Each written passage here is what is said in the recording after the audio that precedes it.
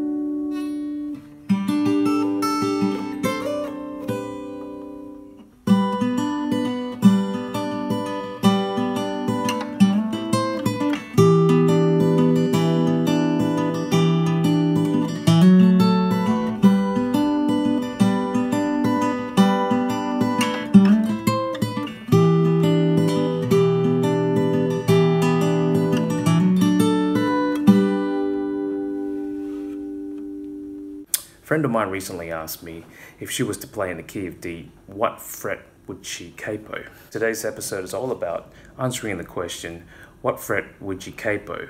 And it's probably the question that's on the lips of many guitarists, particularly those who are starting out.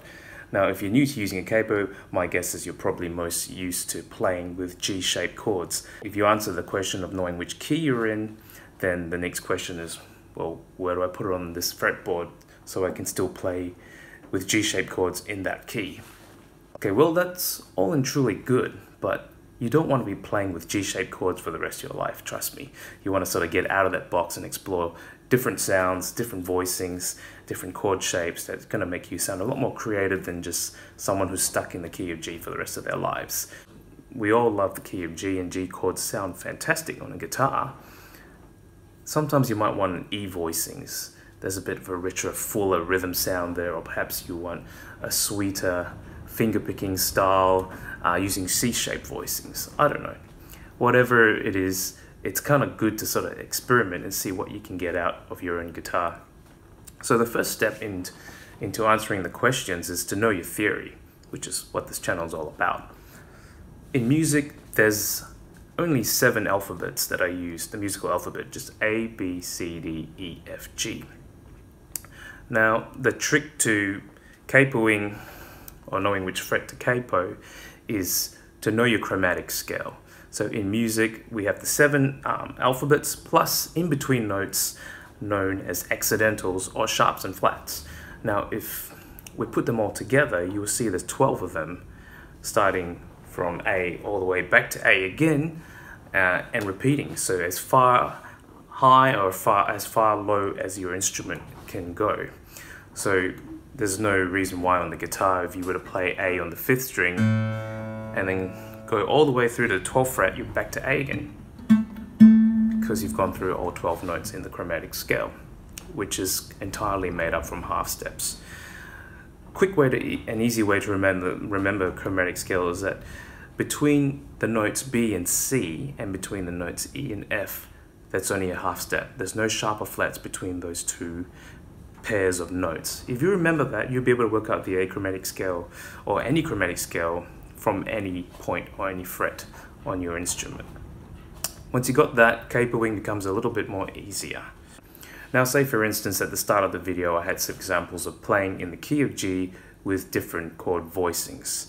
So let's say you know you're in the key of G but you want to sound more like you're playing in the key of E.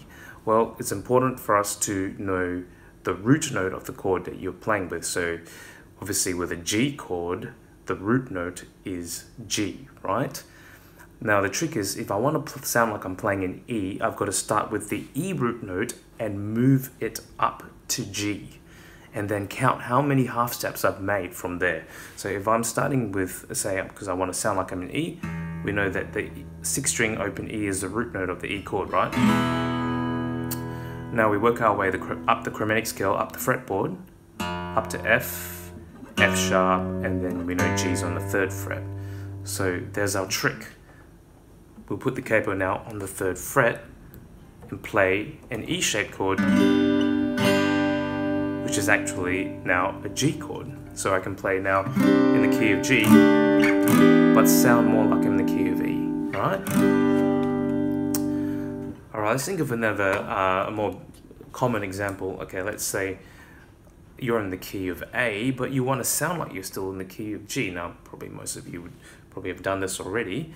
Well, now we've got to start with the G that we already know where it's on the third fret here, and we're going to work our way up to A. So G, up one fret, G sharp, up another fret, up to A, right?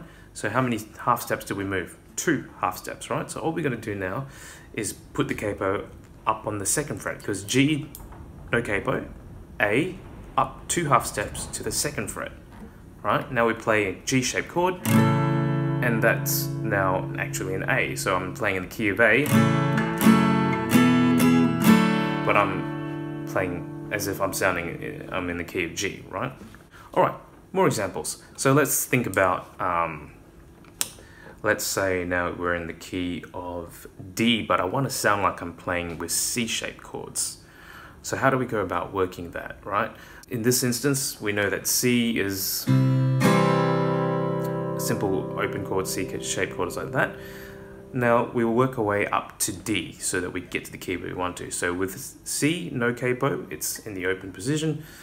We move it up one fret, that's C sharp, another fret, that's D, right? So now we're we know that that's two semitones or two half steps. So put the capo up two, which is the second fret, and now I've got C-shaped chords in the key of D.